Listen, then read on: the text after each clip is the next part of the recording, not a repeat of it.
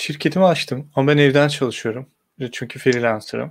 Ee, bunun için bir ofisimin olması veya sanal bir ofis kullanmama gerek var mı? Yoksa oturduğum binayı e, ya da kiradaysam kirada olduğum evi kullanabilir miyim? Bir ofis tutmak zorunda değilsiniz. Sanal ofisler var. İstenirse bunlar tutulup burada işte gerekli toplantılar ve e, günlük çalışmalarınızı buradan yürütebilirsiniz. Ama böyle bir zorunluluk yok. Home office, home office olarak evden e, kendi çalışma alanınızı kurarak bu şekilde de e, şirketinizi kurabilirsiniz. Ya yani bu limited şirket de olabilir. Şahıs işletmesi de olabilir. Peki burada e, ev sahibiyle eğer kiradaysam ev sahibiyle yaptığım sözleşmede bir madde olması gerekiyor mu?